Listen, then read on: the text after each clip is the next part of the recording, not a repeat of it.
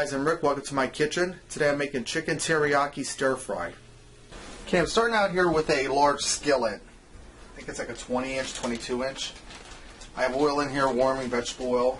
I'm going to add in some partially defrosted chicken, uh, boneless skinless chicken breast. And I'm going to brown these over medium heat.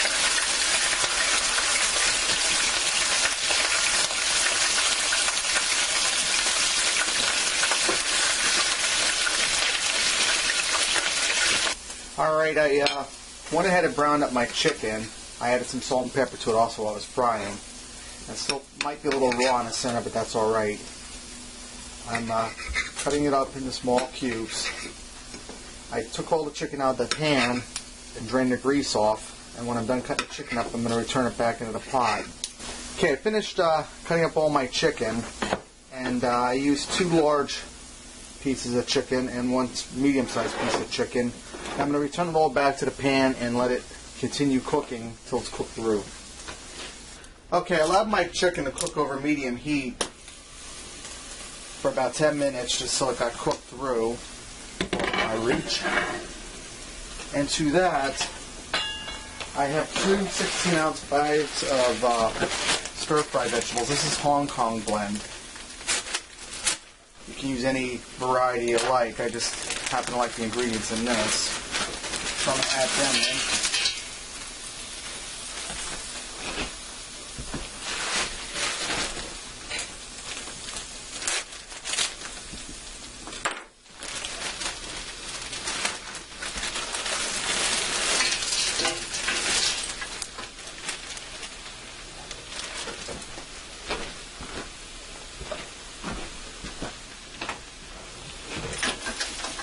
good stir.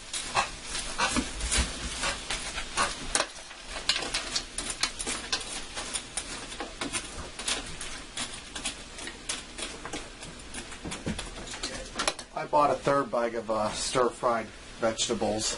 I think I'm going to go ahead and add those in too. Alright, this is another 16 ounce bag of stir-fried vegetables. This is uh, deluxe. Pretty much the same thing, a few different ingredients. And if you want to get one big bag of vegetables, go ahead and get it. This is the best deal I found at the store. Now I'm going to put a lid on this and let this cook over medium heat for a few minutes to warm the vegetables through and start to soften them up a little bit. We don't want them too soft, but just a little soft will do just fine. Alright, I left my chicken and stir-fry vegetables cook over medium heat for about 10 minutes to thaw out the vegetables and warm them through. Now to this I'm going to add in a almost 12 ounce jar of Kikkoman's teriyaki glaze. I'm going to turn this down a little bit so this glaze doesn't burn. Let me add a little water to this bottle. Uh,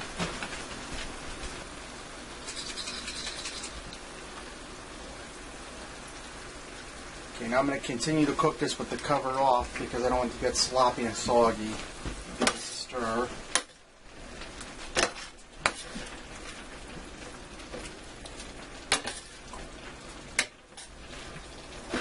All right, I left my chicken stir fry cook for about another 10 minutes to uh, cook the teriyaki through it and to reduce some of the sauce. Let's go ahead and plate some of this up. I made some rice earlier.